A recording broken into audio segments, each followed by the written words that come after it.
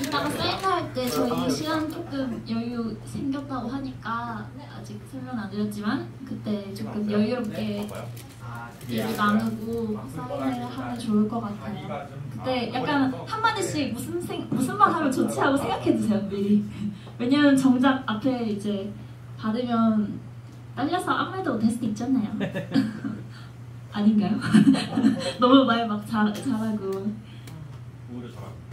오히려 막 랩하고 시작할까요? 어, 아 다들 오셨나요?